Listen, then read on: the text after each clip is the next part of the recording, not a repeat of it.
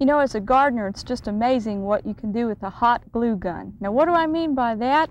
Well, this board right here displays a lot of different plant diseases and problems that gardeners bring into the OSU Extension Office. And our master gardener, Betty Patterson, used her hot glue gun to glue these problems to this board and label them with some computer printouts so gardeners could see evidence of problems that they may bring into the office even if they don't have a sample.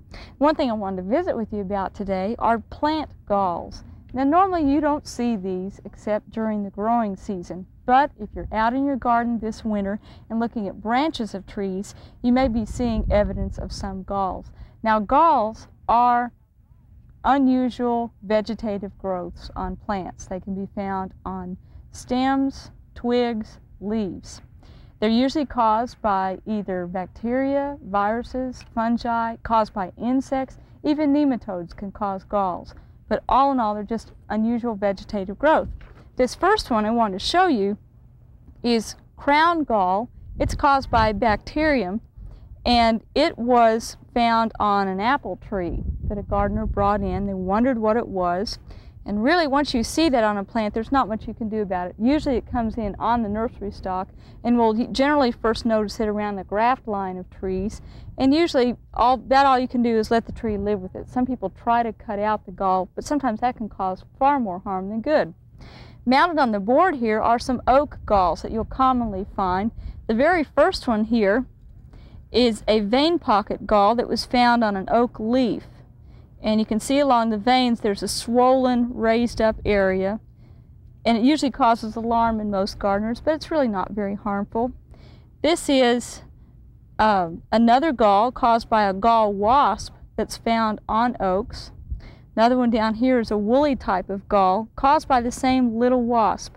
And the reason you see this is that the, the wasp has laid its eggs or fed upon the leaf and the leaf responds by growing strange tissue up around that. And so it's really just plant tissue that you're looking at that looks strange. And this one right here is another gall caused by a gall wasp, and it's found along the limbs of oak trees. And you'll see these commonly in the wintertime, especially on pin oaks. Now none of these are ones that you really need to be very concerned about. Uh, if galls are real bad on a tree, usually the tree has other problems as well, such as secondary fungi coming in. It might be weakened from old age. At the OSU Extension Office, we generally don't recommend spraying trees to control galls. Once you see the damage like this, there's nothing you can spray to make it go away. You can prevent galls by following our ornamental home insect control guide. There are some sprays you can put on, but for the most part, um, you can generally live with them, and so can the plants. Now right here's another gall you might be interested in. This is hackberry nipple gall. And again, it's caused by a little insect that has left a sting mark on the leaf, and then the leaf tissue grew up around it. Over here is one that pecan growers commonly find on pecan leaves. It's called pecan phylloxera gall. And there's a little phylloxera, it's an insect related to aphids that causes this gall swelling. And growers usually spray to prevent this problem because it can eventually, if it surrounds the whole leaf, it can cause that leaf to die.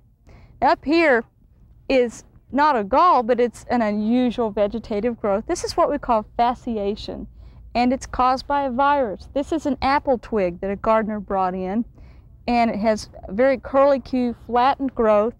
The virus usually makes it grow very strangely. In fact, sometimes it'll cause one branch of an apple tree to bear dozens of apples in one location. In fact, a, a man up in Inola, Oklahoma brought this to my attention last year. Anyway, as you see samples that interest you in your garden, you might bring them to your extension office. They can sure use them to help other gardeners as well. But if you see plant galls around your garden, don't get too alarmed.